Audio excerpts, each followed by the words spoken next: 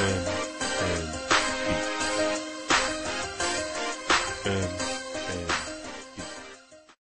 militants. The deputy police chief says six officers were killed, including the district's top cock, top cock after cop after the vehicle they were riding in was sprayed with bullets. Three other officers were hurt in the attack.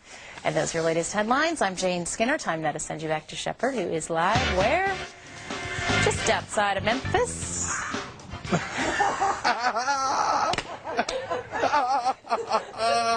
South Carolina Gamecocks. She's a big fan. Go South Carolina. You know, Steve Spurrier's the coach there now, Janie.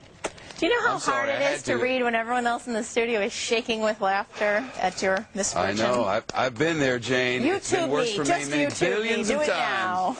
now.